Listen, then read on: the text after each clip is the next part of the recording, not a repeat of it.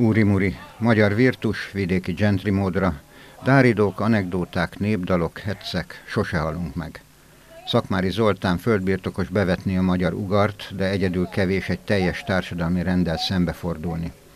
Horváth Csaba rendezésének kiinduló pontja, hogy merészen, ugyanakkor hitelesen ábrázolja a gyarló, önpusztító férfi társaságot a végső tragédiáig. Igazából itt a főszereplő férfi Szakmári Zoltán, aki aki gyakorlatilag egy olyan reménytelen környezetben küzd, mind egzisztenciálisan, mind pedig a magánéletét illetően,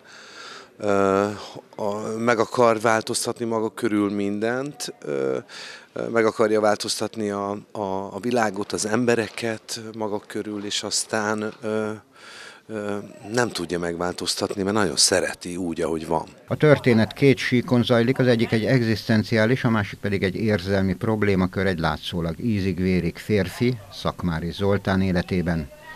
Az ő tragédiája és drámája az egész történet, miközben egy önpusztító férfi társaságot láthatunk mindenfajta kontroll nélkül, ahol természetesen megjelenik a nő, a nők is, csupa nagybetűvel. Valójában ez, számomra ez a Móriczban a legizgalmasabb egyébként, hogy folyamatos ellentmondásban van önmagával a főszereplője, és hát ugye azt arra méri a legnagyobb kritikai csapást, amit a legjobban szeret. Horváth Csaba miközben rendezésében ezúttal is tartja magát a mozgásszínház elemeinek felhasználásához, megtartja Móri Zsigmond alapvető hozzáállását, a kritikai attitűdöt, miközben szereti és empatikus hőseivel.